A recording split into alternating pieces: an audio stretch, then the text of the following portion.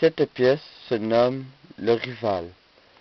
C'est une harmonie en Do majeur avec les instruments flûte, hautbois, clarinette, trompette, saxophone alto, ténor et euphonium.